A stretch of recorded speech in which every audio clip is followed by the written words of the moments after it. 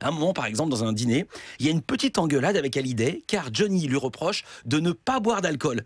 Question à Philippe Manœuvre, vous avez vraiment arrêté c'est que j'avais pris un peu d'avance sur mes contemporains et que j'étais arrivé à devenir une espèce de caricature de rock critique alcoolique.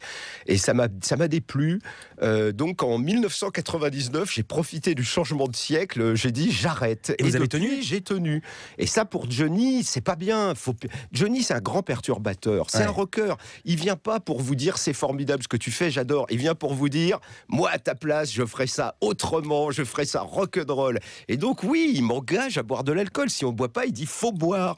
Johnny, c'est le diable en personne. Voilà, le diable en personne. Rock'n'roll.